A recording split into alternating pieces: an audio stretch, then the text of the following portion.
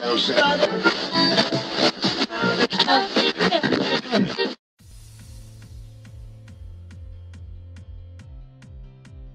up, guys? This is Aperture 115, and I am here with David. How's it going? Yep.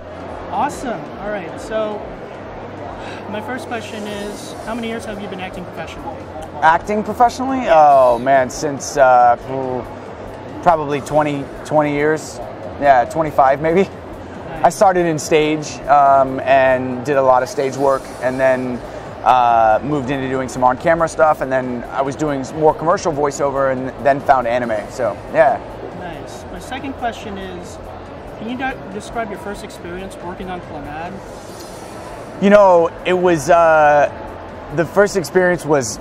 I mean, it was emotional. It was uh, you really had to get into the mind of Tomoya and, and the experience that he had with his father and and what his circumstances were as a kid. You know, and understand why he was the way he wh- why the way he is. You know. Um, so I mean, I had a great time. It's one of those like really human stories that you just as an actor, it's a delight to, to work on stuff like that. So it got challenging when there was more emotional um, scenes that you really had to get the emotion going. Uh, those scenes at the end there are really brutal.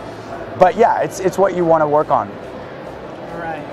Um, my last question is, uh, can you say a line that uh, Tomoya Okazaki would say? Uh, you know what? I have a line right here. Um, yeah, I can say that. You want me to say it to the camera or just, yeah? How do you want to do that? Anyway, yeah, all right. Uh, all right. Uh, I hate this town. It's too filled with memories I'd rather forget.